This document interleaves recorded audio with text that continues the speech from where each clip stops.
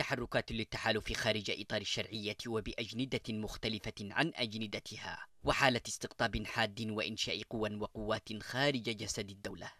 منذ اليوم الأول لتدخل التحالف العربي في اليمن عمل على دعم كيانات وقوات وجماعات مسلحة بعيدا عن سلطة الحكومة الشرعية واستخدمها في أحيان كثيرة للضغط على الشرعية وابتزازها. سلوك لا يتفق مع أبجدية التحالفات ويتناقض مع أهداف التدخل المعلنة من قبل الحكومة وأضفى المزيد من التعقيد على العلاقة بين الطرفين.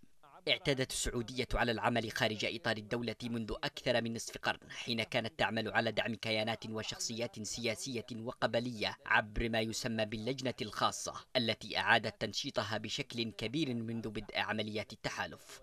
وزراء الحكومة ووكلاؤها وأعضاء البرلمان والمحافظون وشخصيات قبلية وعسكرية وقطاع كبير من الجيش والقوات غير النظامية يستلمون مخصصاتهم من اللجنة الخاصة وهو ما يتيح للجانب السعودي سيطرة شبه كاملة على القرار والولاءات. بالطريقة ذاتها قامت الإمارات بتكرار التجربة وبنت حلفاء لها بالمال والسلاح واستطاعت الانفراد بصناعة القرار السياسي والسيطرة على الأرض في عدد من مناطق جنوب وغرب اليمن واستخدمت المجلس الانتقالي الجنوبي وقوات الحزام الأمني كورقة للسيطرة وواجهة للتحرك ضد الحكومة ولفرض واقع مغاير على الأرض.